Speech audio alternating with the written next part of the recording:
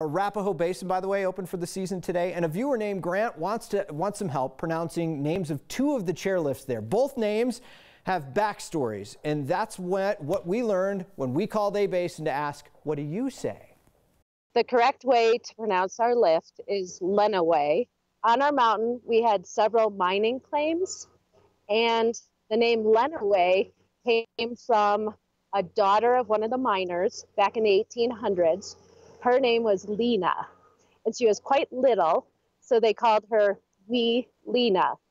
At some point in time, that those two words got switched around to be Lena Wee, and then eventually it evolved into Lena Lenawee.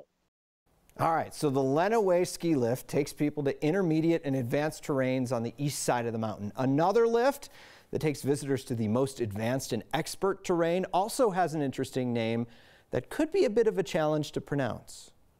The correct way to say it is Pallavicini.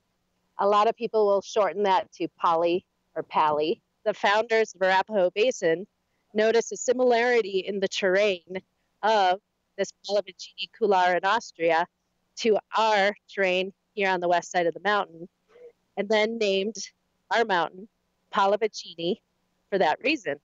There you have it, Lenawee and Pallavicini. So what other names in Colorado would you like help saying? Email your suggestions to next at 9news.com or get our attention with the hashtag HeyNext. Subscribe to the next YouTube channel and I'll buy you a beer. Am I actually buying them a beer? This could be a very poor idea. We need some terms and conditions. Offer subject to terms and conditions.